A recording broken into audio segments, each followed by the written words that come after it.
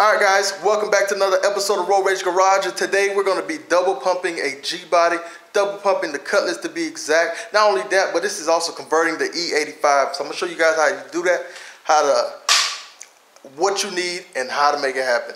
Let's get it. But before I even start, man, I want to give a shout out to that boy, Mr. Get In There. He's the only person I did see do this, but I ain't gonna lie, boy. I one upped you. I'm telling you, I one upped you. And I'm gonna run that through that real quick, man. That fuel pump you're looking for, I got it. So let's get into it, guys. I'll tell you what you need.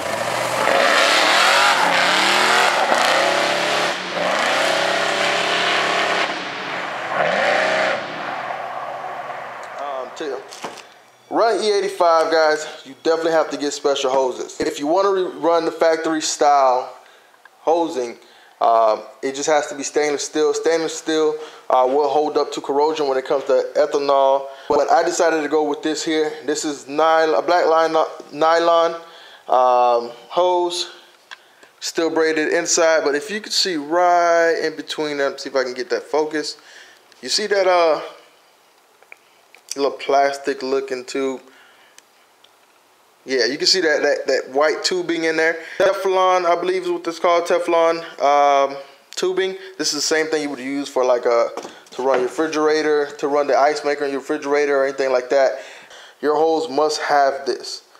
It must be this or stainless steel or anything that can hold up against uh, fuel corrosion or alcohol corrosion. Just please guys, if you don't want a lot of trash going into your uh, injectors, clogging that up, not to mention slowly eating away at your fuel system, uh, definitely go with these hoses. They, they weren't too expensive. They came with the, in my particular setup, you definitely want to go with some good injectors.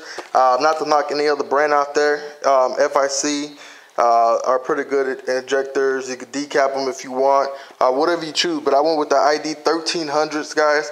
Uh, you can't go wrong with these. I got all the room for growth. It is um, not an overkill, but it's definitely more than what I need right now at the moment. All right, next thing I want to show you guys is this here. This is an E85 sensor. Um, you just got to wire this in. You, you, need power. One is signal, one is ground. Um, just you're gonna have to look at a couple of diagrams depending on what you're running to know where to hook these up to. Uh, but that's pretty much it. Three wires, nothing really hard about it, and you should be good. All right, the next thing I want to talk about, guys, is these pumps here. These are the AME 50 1205. These are discontinued. I'm not gonna lie to you guys. These are discontinued. These are these were very very hard for me to find. Um, I was managed. I did manage to pick up two of them, but I have not been able to find none since. I always uh, said if I do run across one, I'll probably end up just buying it just to have it as a backup in case one ever fails. Uh, but to help prevent both pumps from ever failing at the same time, what I do got is a Hobbs switch. I know a lot of you guys um, that I've seen run dual pumps. I don't see running Hobbs switches. Hobbs switches, what that do is it allows the boost to go in one side and then depending on whatever on what you set the boost to be at. Um, let's say I set the limit on the Hobbs switch to be seven pounds, right? At seven pounds, what end up happening is like a, a, a breaker or a relay. It'll actually uh, flow the current through and activate the second pump. When you're cruising, uh, even when you're you have a boosted application, when you're cruising, it's really not making boost. You could be at 80, and cruising, your RPMs are down low, man, you're just cruising. You don't really need both pumps uh, to keep the car going. So this will ensure that one pump is off at all times. The only time it will kick on is when it actually needs it. When you are under a load, when the boost is up, this will engage and turn on the second pump. I'm gonna show you guys that in a little minute on how that would look when you actually set it up. Um, but if you can't get these pumps, which is fairly, fairly hard, uh, what I want you to do is go ahead and get the 50 1200s, I believe. 50 1200s. They are side, they are side um, inlets. It is an offset to the inlet. They're not centered. So you may have to modify the bracket a little bit. Maybe just Um, put a slit here, take about an inch off in the opening, and I think you should be good. Um, I believe that's what I've seen someone did. Mr. Getting I believe that's what he did. Um, he's actually the only person I've ever seen do the dual pumps in the G body. Um, but I one up them by actually getting the pump that's supposed to go in there. Um, this can also be replicated for anybody who wants to run a dual pump uh, setup, even if it's not E85. You can still find pumps with center inlets. However, for if you want to go with this brand and you want to go with E85, you are not, I repeat, you are not going to find this pump unless you're extremely lucky. Or, or unless they bring them back out. But these pumps are discontinued. I'm going to go ahead and set all this up, show you guys what the end product look like, and see if we can get it in the tank when you get one of these brackets, which I haven't talked about yet, but when you get one of these brackets, um, you'll place both pumps in here, glide this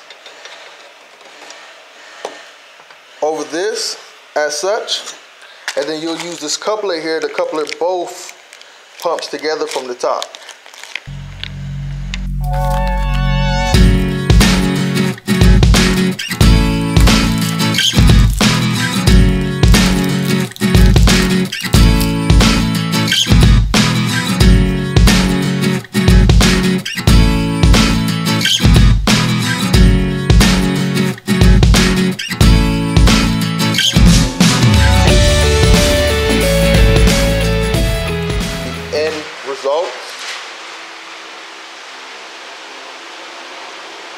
Obviously the wires haven't been connected yet.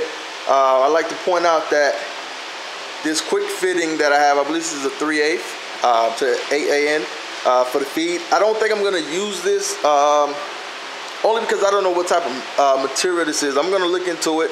I'm, I'm wishing it is a stainless steel uh, fitting and they just powder coated it or something, but it's probably not. But I'll figure it out. If it is, then I will use it and I'll get another one for the return. Uh, but if not, I'll figure something out. On the Monte Carlo, what we end up doing is going, we have a store down there called Maker Hose where you get custom hoses. And what they ended up doing was uh, welding a stainless steel bung onto, uh, well, another aluminum bung onto the end here. They cut it off and welded aluminum bung to it. And that's the way we went there. Um, I'm not sure. I might end up doing the same thing, but if not, this is what it will be if I can determine if the uh, fitting uh, will hold up to corrosion when running E85. My car was a mechanical, came with a mechanical fuel pump. Uh, so what I end up having to do is buying this bulkhead wire harness. All right. What it, it comes with that one and this Here's the part number. I'll have in the link below. The only thing I was unhappy with is this here goes into the factory location. This is the bulkhead. You put it in, it goes into the factory location on all of these. Right? It goes right in there, locks into place. And then what ends up happening is you didn't have this pigtail here that connects it um, onto it from below. The only thing I was unhappy with is they don't leave the colors coordinated. I mean, if you know anything about matching colors, really, um, you can put this thing together and it's not going to be a problem. But on the bulkhead, there's four wires. There's a purple, black, red, and blue. On the pigtail below, there's a gray, blue, red, and black. Obviously, the gray is going to the purple, uh, but it would have been nice if they kept the colors consistent for unexperienced uh, DIY guys trying to do this for the first time on their own. Uh, but it's no biggie. Uh, the only thing I have to point out is, again, there's five wires here, two grounds, two uh, positive and one signal. There's four here. All right, and when you open up the uh, fittings, you end up with this here. Um, the part that is flare open, you put this with the narrow side down into the hose.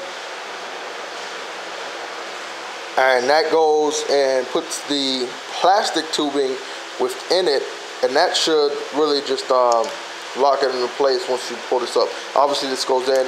Um, you know what? Maybe I will. If, it, if, if I get enough likes, guys, go ahead. If I can get 200 likes on this video, I will upload a video on how, tips and tricks on how to easily um, uh, put together your hose for for any E85 applications if you're running the proper hosing, which is the PTFE hoses. Um, so just let me know and I'll be sure to show you guys how to do that. Uh, but really that's it. There's nothing else to it. Fuel injectors. Obviously you guys know you need a fuel filter. You need um, one with a boost, boost reference. Guys, get one with a boost reference. Um, I have one here somewhere. I wasn't planning on using it anymore. That was the one that I used originally in my vehicle. So I actually don't know where I put it. Put it at. Um, the one I am going to buy is an Aeromotive one. I am going to put that in the link below, so go ahead and click that if that's what you're looking for. So uh, that's what I'm going to be using. That's everything you need to convert to E85 in any vehicle. And this is what you need in order to double pump a G-body or any vehicle that will that will support uh, two pumps. Uh, and by support, I mean has a big enough diameter to fit two pumps into the tank. Uh, coupler is definitely one uh, important piece, and then the this bracket here that helps hold the pumps uh, so that they're not sliding off and eventually coming off. All right, guys, what's pretty much left in the box is the pre-screen filter uh, that we're obviously going to use. Clips right onto the bottom of the pumps. They have a hose, which we're not using because we're using the couplers. And I believe there's instructions and some clips in there. Some uh, some hose clamps in there. This is obviously for the uh, sending unit. That's to lock it into the tank. Uh, but pretty much, guys, that is it. Let me know if you guys want to want me to go over how to actually put these hoses together. Um, it's fairly simple. There is you know, a lot of tricks that different people use. The trick that I use, I'll run through it real quick. And if you guys want to see demonstra demonstration, let me know. Put in the link below. All right, guys, that's pretty much it. Let me know uh, what you think about the video. Let me know if you really want to see the uh, demonstration of how to put these hoses together. And I'll go ahead and put a video together. This is the end results. This is how you double pump a G-body. Man, I'm telling you guys, this makes life a lot easier. I used to run a um, external pump, and I was thinking about running one in-tank and one um, external since I was going to use a Hobbs switch, and I still am. Um, the external one would kick on, so it would never really, only when I need it, so it would never really get overheated. But this right here is going to be a lot quieter solution and uh, a lot cleaner solution. So uh, just give me a thumbs up if you enjoyed this video, if this information was useful, um, and I continue to share with you guys what I can, what I know, uh, to make these builds a lot smoother, a lot easier, uh, and get you to your end goal. Uh, thank you again. Like, comment, subscribe, and yeah, we out.